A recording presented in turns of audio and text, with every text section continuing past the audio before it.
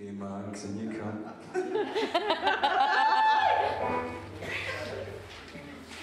Just a wee backdrop. Uh, Max plays with Mackenzie Caledonia Pipe Band, who are grade two, but really should be grade one because they're absolutely brilliant and they had a great year last year.